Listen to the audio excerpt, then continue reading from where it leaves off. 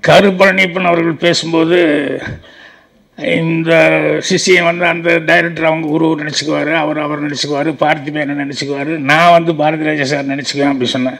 நான் பாரதி ராஜா சார் நினைக்கவே மாட்டேன் நான். என்னன்னா எங்கள் டைரக்டருக்கு சுத்தமாக காமெடினாலே பிடிக்காது. அதை வந்து நான் எப்படியாவது காமெடி உள்ள இன்செர்ட் பண்ணி ஜனாக்கு அவங்க ஜனகராஜ் எல்லாம் நடிக்க வைக்கணும்னு சொல்லி நான் ட்ரை பண்ணால் அவ்வளோ கோவப்படுவார். யா காமெடி கிமெடின்ட்டு அவர் சீரியஸாகவே தான் இருக்கணும் ஒரு சினிமான்னா அப்படிம்பார். நான் நேராக ஆப்போசிட்டு அப்புறம் எழுதிட்டு போனாலும் பேப்பர் கொண்டு போய் கொடுத்தோம்னா ரொம்ப கஷ்டமாக இருக்கு எனக்கு. பேப்பர் வாங்குவார் சீன் பேப்பர் வாங்குவார். வாங்கி படக் படக் படக் படக்குன்னு பார்ப்பார். அஞ்சு பக்கம் இருக்கும். நடுவில் ரெண்டு பேப்பர் கிழிச்சு அப்படி போட்டு ஒரு வாட்டில் போயிடுவார் எனக்குன்னா அவ்வளவு கஷ்டப்பட்டு எழுதி படிக்காமே ரெண்டு பேப்பர் கிழிச்சு போட்டு போயிடாருன்னா அவமானம்னு அப்படி ஒரு அவமானமாக இருக்கும். அப்புறம் போய் ஒரு ஓரமாக நின்றுக்குவேன் அப்புறம் எடுத்துக்கிட்டே இருப்பார். அப்புறம் திடீர்னு லிங்க் வராதில்ல. அப்புறம் அப்படியே பார்ப்பாரு ஏதாவது பண்ண முடியுமான்னு.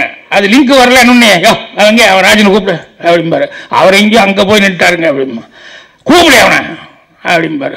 இது லிங்க் பண்ண நீங்களே பண்ணுங்க அப்படின்னு விளையாடுறியா நீ? பின்ன என்ன சார் இவ்வளோ கஷ்டப்பட்டு எழுதியிருக்க? படித்து பார்த்துட்டு கிழிச்சா கூட பரவாயில்ல. படிக்கவே இல்லை இப்படி கிழிச்சு தூக்கி வீசினீங்கன்னா நான் எப்படி சார் அப்படின்னு. அதனால் இங்கே டைரக்டர் சினிமா எடுக்கிறதுக்கும் நான் எடுக்கிறதுக்கும் நிறைய வித்தியாசம் இருக்குது. ஆனால் டைரக்டருக்கிற மரியாதைகள் வந்து அவர் மேலே எனக்கு எப்பவுமே ரொம்ப மரியாதை உண்டு. முதல் படம் செய்யும் போது கூட அவருக்கும் ப்ரொடியூசருக்கும் ஒரு சின்ன சண்டை வந்துடுச்சு ராஜ்கண்ணு சாருக்கும் அவருக்கும். அப்போ பொதுவாக சினிமாவில் என்ன நினைப்பாங்க? இவங்க நைஸ் ஏதோ போட்டு கொடுத்து அடுத்து டைரக்ஷன் சான்ஸ் வாங்குறதுக்காக தான் ஏதோ பண்ணிட்டாங்கன்னு என்னையும் பாலகுருவும் ரெண்டு பேருமே நீங்கள் ஏதோ போட்டு கொடுத்துட்டீங்க. அதனால தான் ராஜ்கண்ணுக்கு எனக்கு சண்டை.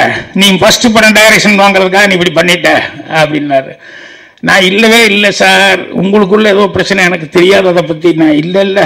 ஃபர்ஸ்ட் படம் பண்ணுறதுக்காக நீ பிளான் பண்ணி பண்ணிட்ட அப்படின்னாரு. அதுக்கப்புறம் கன்னிப்பருவத்தில் முடிஞ்சது. ராஜகண்ணு சாருக்கு என்னை பற்றி நல்லா தெரியும் ஸ்கிரிப்ட் பண்ணுறது எல்லாம் ஃபர்ஸ்ட் படத்துலேருந்து ஒர்க் பண்ணிகிட்ருக்கனால இருக்கனால அதனால் பிளாங்க் செக் ஒன்று கொடுத்து டைரக்ஷன் பண்ணு அப்படின்னாரு. அப்போ அவர்கிட்ட சொன்னேன் மன்னிச்சிருங்க சார்.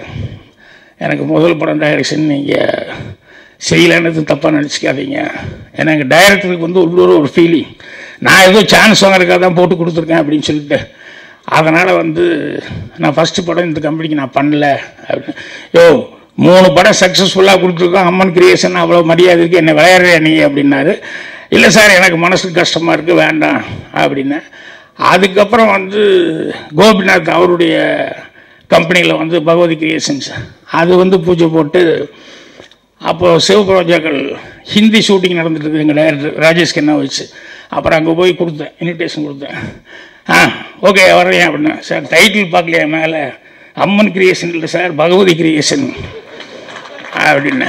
யோ நான் ஏதோ அப்போ கோபத்தில் சொன்னேன். நீ கோபத்தில் சொன்னால் கூட நான் அதை பண்ணியிருந்தேன்னா உண்மையிலேயே போட்டு கொடுத்த மாதிரி தான் ஆயிரும். அப்படின்னு சொல்லிட்டு அதனால தான் பண்ணல அப்படின்னு. அதுக்கப்புறம் அதே அம்மன் கிரியேஷனுக்கு ஐயோ நீ நல்ல பீக்கில் இருக்கிற ஒரு ப்ரொடியூசர் கஷ்டப்படுறாரியா?